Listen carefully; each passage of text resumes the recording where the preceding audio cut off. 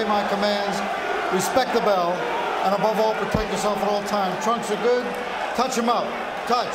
All right.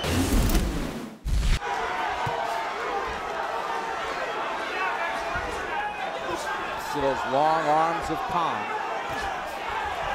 Khan lands a nice Khan lands a nice short right hand on the inside. He's landed it a couple times so far this round. Good left hand by Khan. Right hand by Khan.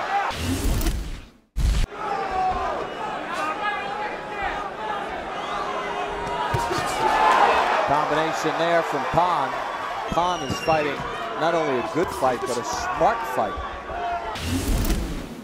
Malignaggi, because of the forget about his smaller size for a second, because he keeps his hands low, is much easier for Khan to hit with that straight jab. Malignaggi able to connect there. Khan shoots a right hand over the top. Malignaggi's point that a lot of coddled European fighters fail once they leave Europe and are tested Break, don't punch, don't so punch. far has not Step, borne step, out step. tonight.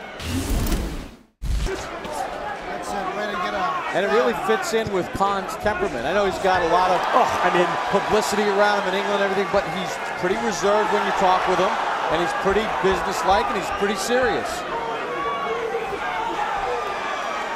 And he fights that way. when Malignaggi is up on his toes, he's harder to hit. Um, he really doesn't have much head movement, as you see there. When he's stationary, he has a little upper body movement. He has one pet move where he ducks down to his right, but otherwise has never really avoided punches with head movement. He avoids it with his feet.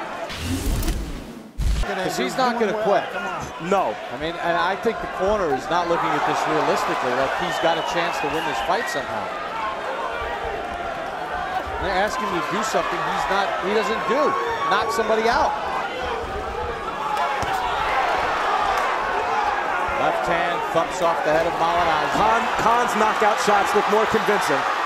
Good, good, Steve good Smoger stoppage by it. Steve Smoger. Well done. Khan now 23 and 1, 17 stoppages.